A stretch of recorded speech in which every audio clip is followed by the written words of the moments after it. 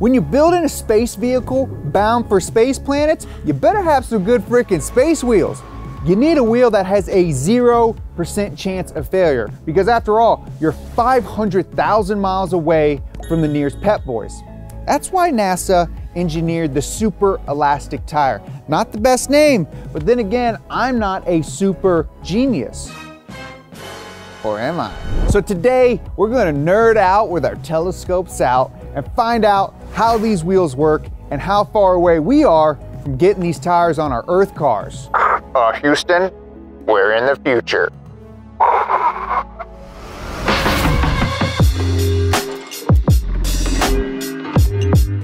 Thanks to Raycon for sponsoring today's video. Filming, meetings, and podcasts. Another busy week. Yeah, sounds good. Sounds good too. Gotta be honest, I love the weekends. I mean, who doesn't? It's an escape from the Monday through Friday stress, but sometimes it's not enough. Sometimes we need a small break during the weekdays too. Hmm. Well, thanks to Raycon, you can have that weekend moment anywhere, anytime. Ah. With my everyday E25 earbuds, I got a pocket-sized escape with six hours of playtime. They got the same amazing sound and noise isolation of those other premium earbuds. But here's the catch, they're only half the price. That's 50% off. With cool colors like flare red, carbon black, and electric blue, there's color out there for everyone. And even better, you can love them or send them back if you don't because Raycon offers a free 45 day return policy. this is nice here. I honestly don't want to go anywhere else. Hey Jerry, they're ready to shoot bumper to bumper. So what are you waiting for? Get yourself a pocket-sized escape with premium audio by clicking in the link in the description box or by visiting buyraycon.com slash bumper to get 15% off your Raycon purchase today. Gotta get back to business. Hello? It's the president's dog's on the phone.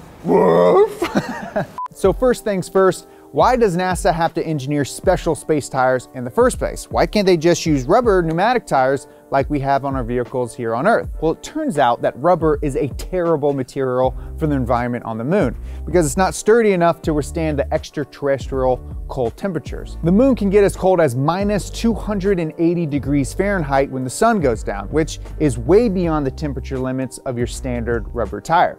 Even your most chemically complex winter tires would shatter like glass at these temperatures, making your billion dollar rover pretty much useless. Not pretty much useless, fing useless.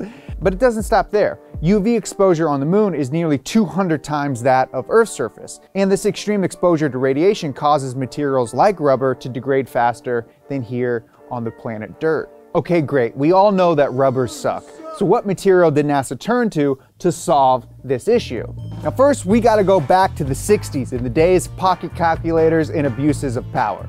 The Lunar Rover Vehicle, or Moon Buggy, as I call it since I'm from the South, was developed for NASA's Apollo program so astronauts could carry all their scientific gadgets and be able to tote back rocks and soil. Now the wheels on this buggy were constructed out of a zinc-coated piano wire mesh with the tread formed by a series of titanium alloy chevrons. And a chevron, it's this kind of shape. And that shape is specific because it helped to keep the wheels from sinking into that soft, luscious lunar soil. But there were some limitations to this design, mainly in the traction and weight capacity department. You know who doesn't have a problem in those depots? Friggin' Nolan. He's hefty and tracks straight as an arrow you know. Now fast forward to around 2004 and the design of the Mars rover Curiosity is beginning in its early stages of development. The NASA engineers went away from the earlier wire mesh designed wheel to a solid wheel. The wheels on the Curiosity, they're made out of aluminum with curved titanium springs for a little bit of springy support. And I don't know if you know this, but Mars is like all rocks, and rocks are hard. Just think of the rock, okay? That guy lives in a constant state of being hard just facts. Curiosity was taking a lot of wheel damage after roaming over the rocky terrain that is the Red Planet. And with less than 10 miles on those wheels, they experienced breaks in the tread, which led scientists to start really thinking about using a different approach to wheel design. Remember, there's no Martian Pep Boys down the block. So NASA went back to this wire mesh style of wheel and developed some prototypes that they called the spring tire. Now, spring tire is made up of over 800 load-bearing springs, and it was extremely flexible, had amazing suspension and traction on various terrains, and could carry 10 times the load of the original LRV wheels. But more importantly, it wasn't susceptible to any puncture damage. Now, as time and testing went on though, the steel from the original spring tire design was susceptible to deformation. So like any good scientist, freaking gave up. Can you believe that? Can you believe that NASA gave up? Good, I hope you don't believe it, because I'm just kidding. I'm joking. That was a hilarious joke. No way they didn't quit. This is NASA, boys and girls. You think some dents are gonna slow them down? You think they would just give up?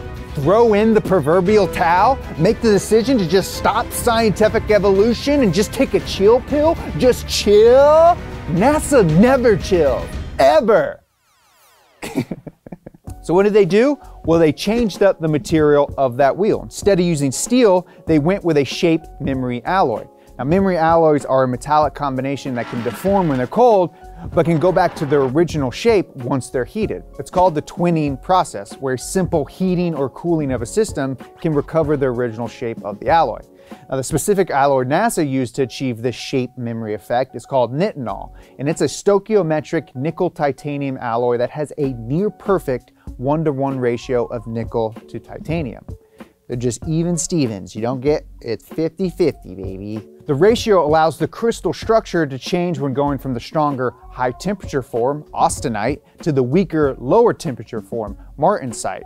Now, this reversible phase transformation is what shape memory is all about. So we thought it'd be a good idea to practically show you guys what this stuff is. And here is a spring made of nitinol. And right now it is in that martensitic phase, its low temperature phase. And what I can do is I can take this spring and I can pull it apart and if this were any other type of material, you'd be like, Jerry, what the heck, man? You just ruined a really good spring. But nitinol is a super unique material. So we have a hot plate here with some water in it, and it's at 60 degrees C, and that is the reforming temperature of this particular type of nitinol. And when I put it in, it reforms to its original shape. Look at this. Oh, dude, it's freaking magic, man. Science is magic. Science. So when nitinol is in the martensitic form, it can be easily deformed into a new shape. But then you heat it back up and it reverts to austenite and recovers its previous form. The temperature at which nitinol remembers its high temperature form can be adjusted by slight changes in the alloy's composition and through heat treatment. And when they make this shape memory, they're coiled and woven together, and it kind of looks like this medieval chainmail. And with that chainmail look, it got a very freaking sick medieval name to go with it. Kanan, tell me the name. Is that right? The super elastic tire. Now the way the material of this tire functions comes down to its atomic structure. Like I mentioned earlier, the material of this tire can keep it from deforming or losing its shape over time. And this is because of the bonds of the nitinol, they'll rearrange themselves around an object or point of stress rather than stretching or becoming punctured.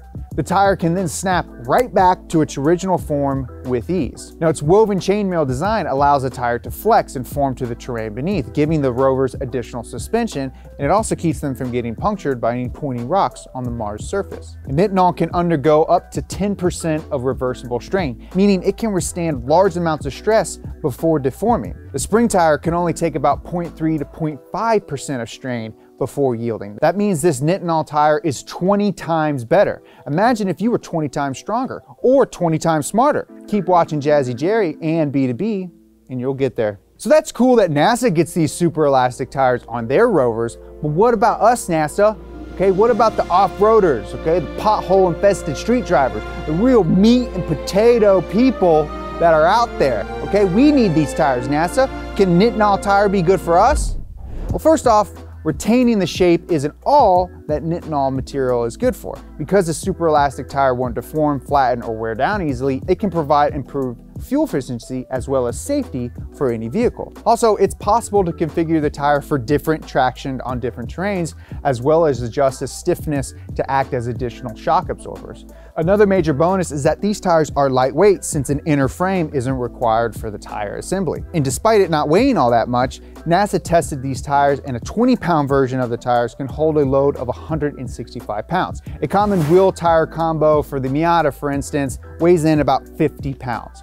Let's say that Miata weighs about 2,000 pounds, so that's 500 pounds per wheel on average, 10 times the weight of the wheel. The super elastic tire can hold about 8.25 times its weight, but the guys that engineered these pups say it can go well beyond the 165 pounds. So from that perspective, that's pretty promising. The good news is NASA and Goodyear have developed a spin-off of the Mars rover's super elastic tires designed just for us Earth vehicle drivers. And they've already begun testing a concept Nitinol Earth tire on gravel and rocky surfaces. But there's still a bunch of unknowns, okay? NASA knows these tires work well on off-road types of terrain, but no one's quite sure how they fare on the pavement or wet pavement. Also because there's no water on Mars, if you believe that sort of thing, they haven't had any mud terrain type of testing. The mud, it could potentially get caught up in the tires and weigh it down and then they'd be, you know, just as useless as uh, no wheels. So what do they do there? Well, I got an idea. Why don't you encase a super elastic tire in rubber? Now the concept tire that NASA is testing is all metal, but they claim